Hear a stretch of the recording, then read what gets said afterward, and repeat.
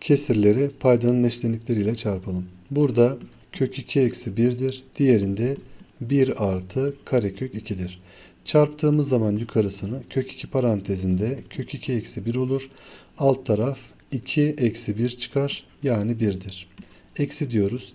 Yine karekök 2 ile bu sefer 1 artı karekök 2'yi çarpıyoruz.